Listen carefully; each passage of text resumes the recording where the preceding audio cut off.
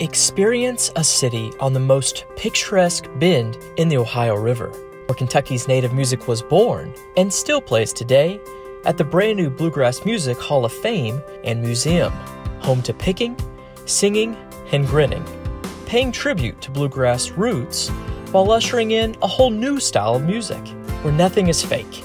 It's as authentic as the food created here. It's barbecue, it's Moonlite, Ole South, and Old Hickory, Burgoo, and Mutton.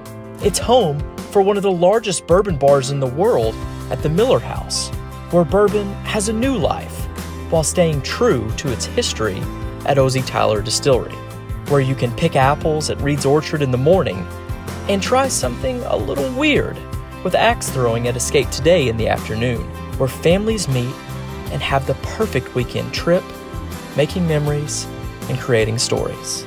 It's a new day, and it's a new Owensboro. Check out visitowensboro.com to start your story.